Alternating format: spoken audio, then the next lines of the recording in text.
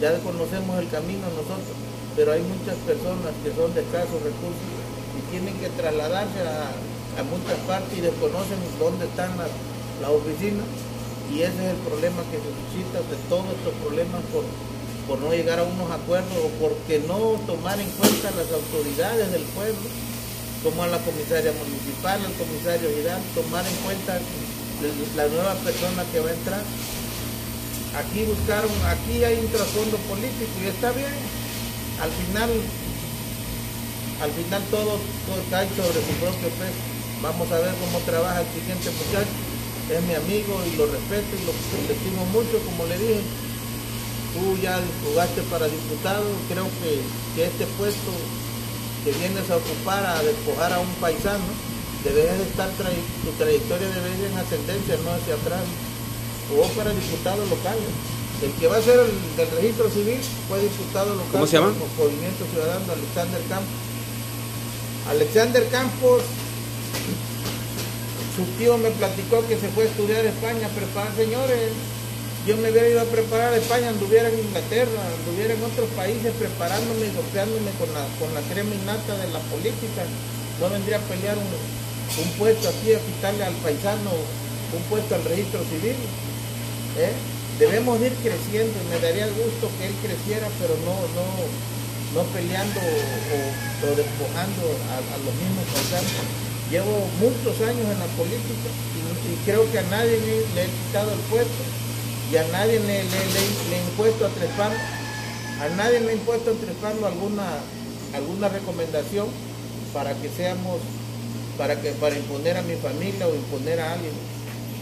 Así que con todo el respeto que ustedes se merecen, los regidores de aquí de Acapulco, pónganse a trabajar todos, todos, no nomás pura foto, porque aquí en Entre Palos no tenemos una obra, ya tenemos como, como tres años que no se ha hecho ni una obra, solamente la obra que se hizo y se gestionó en el mercado por parte del regidor, este, este joven que que fue regidor por parte de Ricardo Taja, que no recuerdo su nombre, ah, este, su Herrera, Quinto Herrera, que hizo la, se terminó la obra alrededor del mercado. Esa fue una obra que se hizo durante el ayuntamiento. Señores, ¿qué queremos? Seguimos con las mismas costumbres, seguimos con lo mismo que el compadrazgo, el amigo, el, el tío, el primo, nada más esos son los que van a llegar a los pueblos a ocupar y alzar la mano lo que diga la presidenta, porque pues ahí yo veo que nomás puro hay levantón de mano y levantada de mano y diciendo que sí, señores. Yo creo que también debemos exigirle a nuestro gobierno, porque nuestros impuestos están pagados y debemos de exigirle la pavimentación de calles. Debemos de mantener aquí la planta tratadora que el día pasado Marino vino a hacer una entrevista a la comisaria. Creo que la comisaria te llevó hasta las inmediaciones de, de donde está la planta tratadora ¿Y qué hacen? A oídos sordos, a oídos sordos de todos los gobiernos, y no todo este gobierno, de todos los niveles de gobierno. Me dicen, ¿sabes qué, Valente? Hay que gestionar. Llevamos peticiones, pues siempre quedan en manos de no sé qué, ni de parte de nosotros los priistas, ni de parte de ningún, de ningún partido los han hecho una los han hecho algún caso para que, para que esto siga hacia adelante. Nada más quiero pedir ante las cámaras que la Sadadegro del Estado, que todos esos programas que se están implementando y se, se vislumbran muy bonitos y, y, que van a apoyar, pues no se ve ese apoyo. No se ve ese apoyo, no veo ese apoyo. Llevo llevan cuatro años más que discutiendo, peleando, echándole la culpa a todos los, los anteriores. Señores, estamos en la actualidad, estamos viviendo una actualidad que cada día, cada día se acrecentan más los problemas. La canasta básica por los cielos, los precios de todos los materiales por los cielos. ¿Qué vamos a hacer en un país que la inflación va, va a la alza? día a día. Las tasas de intereses para pedir un préstamo están por las nubes. Y la, y la economía estancada.